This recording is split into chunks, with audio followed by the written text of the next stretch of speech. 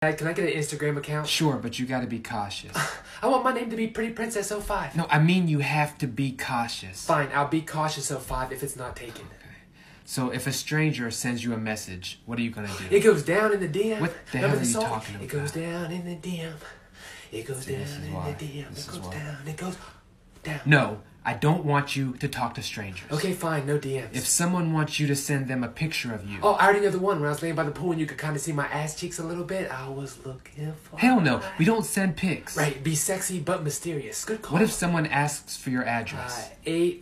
831 East Maple no, Ave- don't give out our address. So I gotta meet him at Walmart? It's fucking Walmart. You're not meeting anyone. Oh, okay. I was gonna say, I'm not meeting him at Walmart. So what if someone asks you to sneak out in the middle of the night when I fall asleep? I use my window, jump down to the trampoline. What? No, not at all. What? I can't use your window. I'll wake you up. Okay, this is a bad idea. So then you tell me which window to use. It's my first time sneaking out. Oh my